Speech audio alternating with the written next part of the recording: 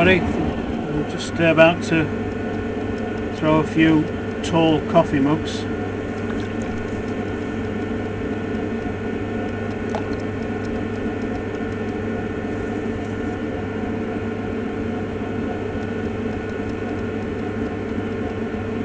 This is white earthenware.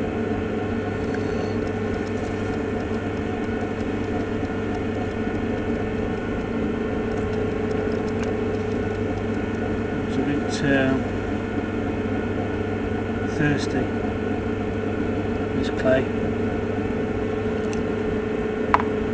To keep it fairly wet.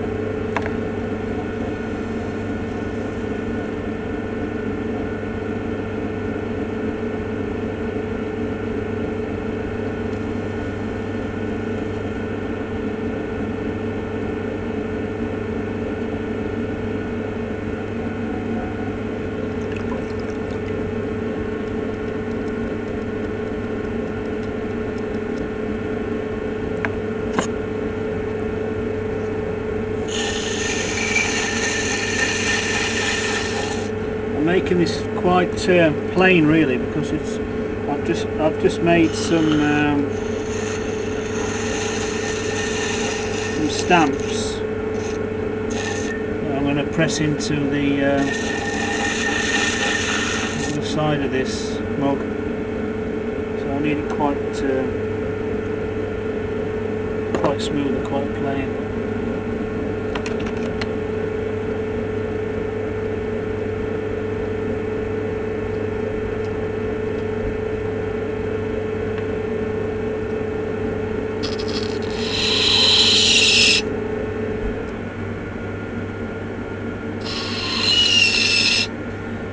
that's it really.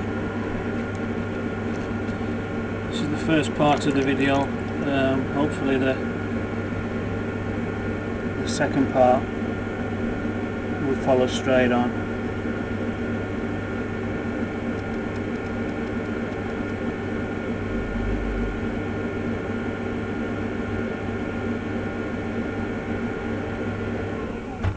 That's it.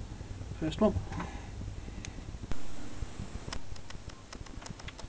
Everybody. I'm just about to um, put some handles and decoration on this on these uh, mugs I've got here. If you can see them. Uh, I've pulled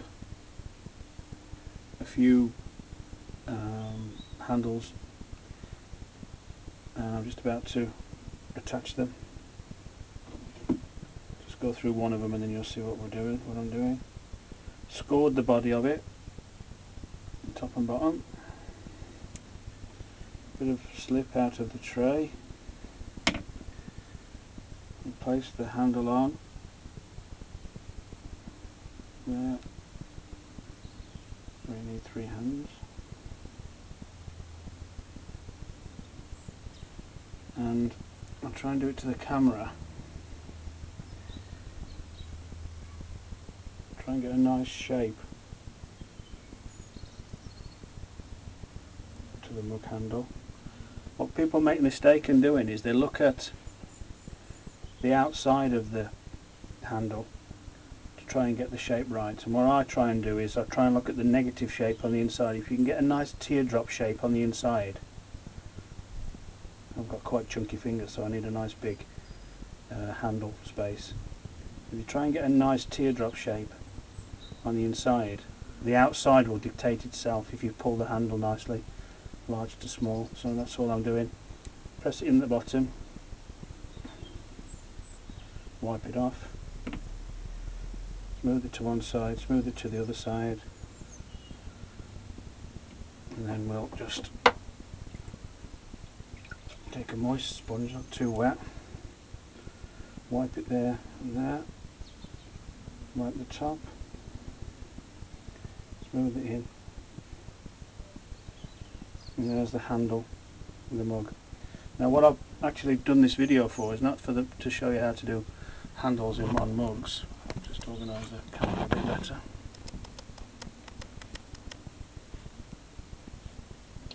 It's to show you a stamp I've made. I've made this by using um, Mark at Brookfield Pottery's technique of scratching into a plaster slab, making a clay stamp from it and firing it. And what I've done here, I don't know if you can see it, I've actually put some um, black felt tip on so you can see the edge of it.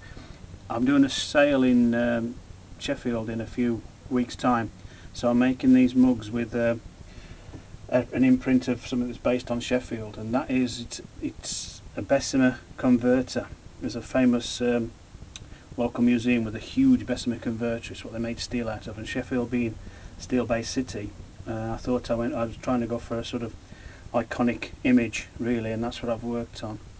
Uh, it's not very easy to see. I'll try and get some finished products uh, shown to you. What I'm going to do now is just press this into the outside of the pot to give it an impression. It's a bit hard actually. As with all these videos I'm actually learning as I go along so I've not done this before. I've seen the first time. That's it. Can't see it very well there but it's pressed into the side there. And this one here. And it level. I think what I might need to do next time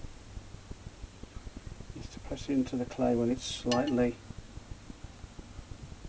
wetter. And that's the finished one. We'll just pull this handle up a bit here so we get the shape on the inside right? Okay we'll set it off to dry. Okay that's all there is to it. Have a go